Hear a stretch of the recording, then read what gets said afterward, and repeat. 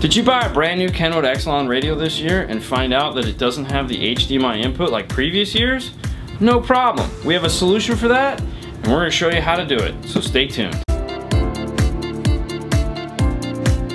So for some reason, Kenwood came out with a whole new line of radios, the 4 Series. And what I mean by 4 Series is that the, the last digit is a 4. They had a 3 before it, 2 before that, 1 before that. You get all that.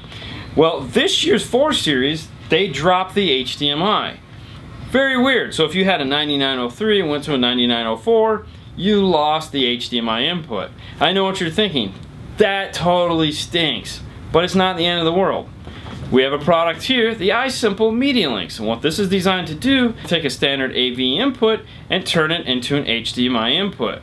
So let's go ahead and take a look at the back of the radio first and see what we have to work with. So on the back of the Kenwood radio, you're gonna have what look like AV inputs. They kind of are, but what you have is a front-facing camera, a rear-facing camera, and then an, a video out for a rear screen. Over here you're gonna have some USBs, you're going to have your preamp level outputs to go to your amplifiers. What you're looking for is this guy right here. And on the radio, it's going to say AV in. This is an audio video input. Now the Media Links comes with standard red, yellow, white inputs, which obviously aren't going to plug into this hole. So Kenwood builds the radio, obviously they feel they don't have enough room to put a full set of RC outputs on the back, hmm. that's why they just give you the aux. They realize that that's the case and they actually make a part so that you can do what we're describing. It's this guy right here, the CA-C3AV. And what this is, is an auxiliary to RCA adapter. So now what we have is this aux jack right here that will plug into the back of the radio. This is gonna give us our standard AV red, yellow, white that we can then plug into our media links. And all we have to do is match up the colors. Red, yellow, white. And that's really all we have to do on the back of the radio. So now that we're done with that, we have a standard HDMI input fed into the back of the radio. Now what you may be thinking is that, wait a minute, isn't HDMI just 1080? Yes. If I'm plugging an HDMI cable into an RCA jack, that can't possibly be 1080, and you'd be correct, it's not. The best that the iSimple Media Links will actually output is 720.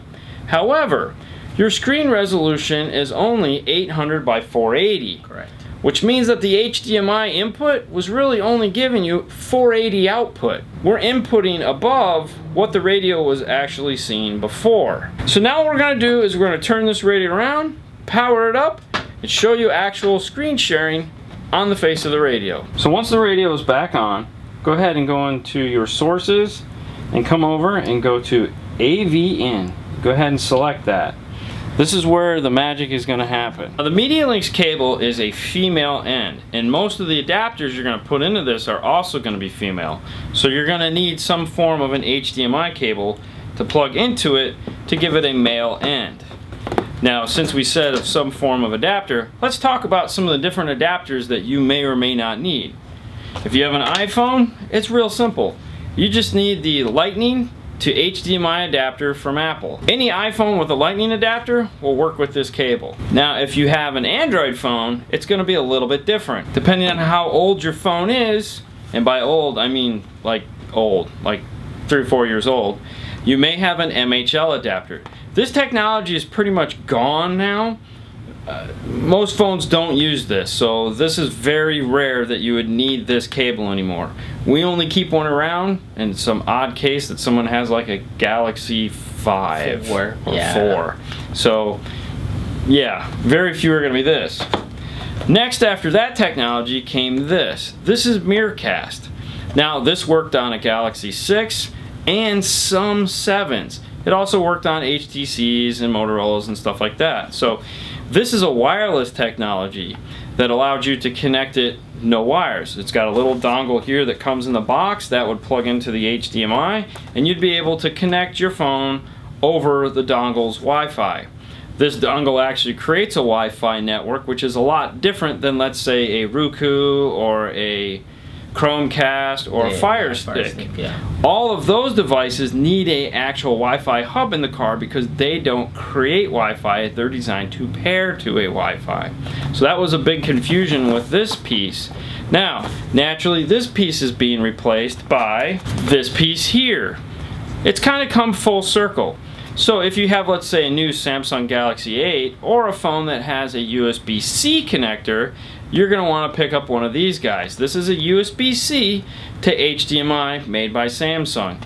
Now, if you're going, wait a minute, what? I, I, do I? Do you got a model number? No problem.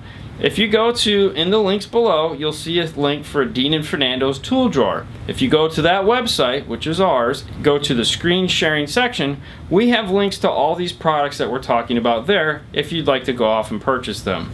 Or you can just call Paul at the phone number at the end of the video. What we're going to show you today is on an iPhone, but there again, it doesn't matter. Once you've gotten to this point, it's just a matter of getting the cable that's right for your phone.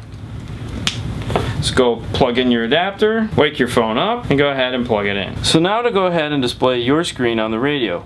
If you have the ability to turn it, it will go ahead and turn.